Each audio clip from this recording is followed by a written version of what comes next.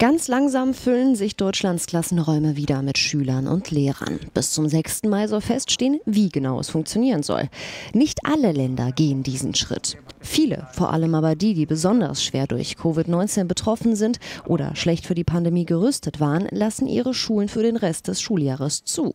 So Italien und Spanien. Hier bleiben die Schulen bis September geschlossen. Auch in Großbritannien kehren die Schüler erstmal nicht zurück in den Unterricht, genau wie in fast allen 50 US-Bundesstaaten in fast allen Ländern Afrikas, in Indien und Singapur. Auch in Japan bleiben die Schulen vorerst dicht. In China, Dänemark, Norwegen, Taiwan und Nordkorea haben zumindest einige Schulen wieder geöffnet, aber nicht alle Klassen, denn viele werden dort weiterhin online unterrichtet.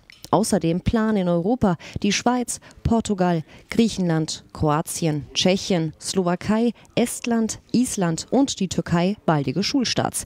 In Asien öffnen etwa Südkorea, Thailand und Vietnam die Schulen.